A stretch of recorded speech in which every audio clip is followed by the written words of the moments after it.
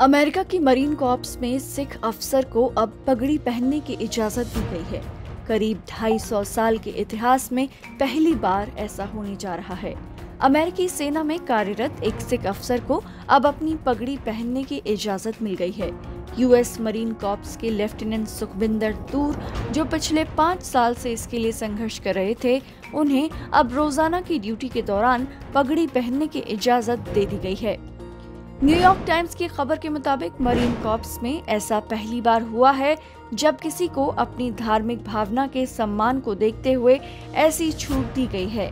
Lieutenant Sukhbir तूर का कहना है कि अब पहले की तरह अपने देश और अपनी धार्मिक भावनाओं में से किसी एक को चुनने की मजबूरी उनके सामने नहीं होगी। साथ ही वो दोनों को एक साथ लेकर आगे बढ़ सकते हैं। अमेरिकी सेना में लंबे समय से इस तरीके का विवाद चल रहा है जहाँ किसी सैनिक को इस तरह की छूट देने की चर्चाएँ जारी हैं।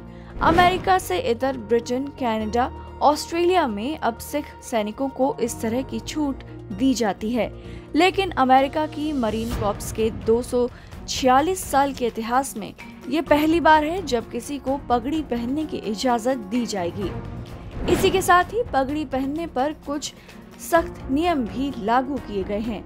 लेफ्टिनेंट तूर को अपनी रोज़ाना की ड्यूटी के दौरान पगड़ी पहनने की इजाज़त होगी, लेकिन किसी हिंसाग्रस्त जगह पर ड्यूटी लगानी है तो वो ऐसा नहीं कर पाएँगे। साथ ही अगर किसी यूनिट की सेरेमनी होनी है तो वहाँ फुल ड्रेस के तहत इसकी इजाज़त नहीं मिलेगी।